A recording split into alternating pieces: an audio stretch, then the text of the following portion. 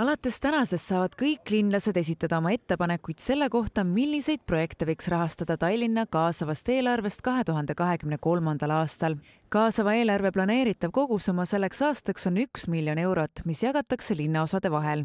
kutsun kõiki linnaosa ja linnaelanikke osalema kaasava eelarve uues ideekorjes, pakkuma oma mõtteid välja.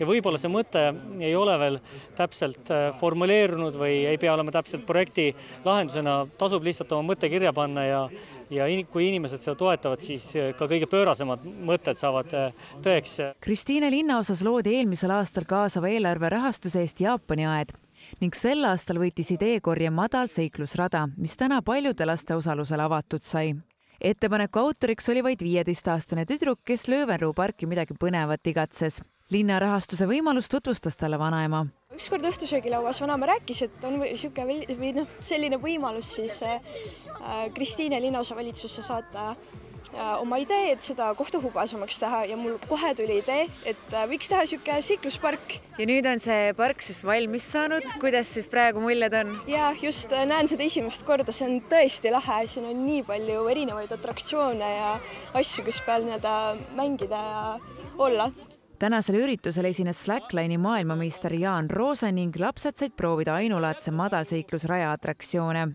üle kõige pakkus rõõmu trossiga laskumine väga meeldis äh, sõita äh,, joosta ringi siin, väga tore oli. ja mis sulle kõige rohkem meeldis äh,? Need sõiduasjad. Need trossid ikka jah? jah. see on kõige lahedam. kas sa nägid Jaan Roose show'd ka? oled järgmisel aastal sama pro juba, kus siin iga päev käid? ma arvan, ma ei tea. võib-olla. võib-olla kui iga päev käin, siis võib-olla isegi on mõtteid kaasava eelarve ideekorjele saavad linlased esitada kuni teise oktoobrini. ettepanekuid on võimalik esitada nii Tallinna veebilehel linnaosavalitsustes kui Tallinna linnavalitsuse teenindussaalis. kogu info kaasava eelarve kohta leiab Tallinna kodulehelt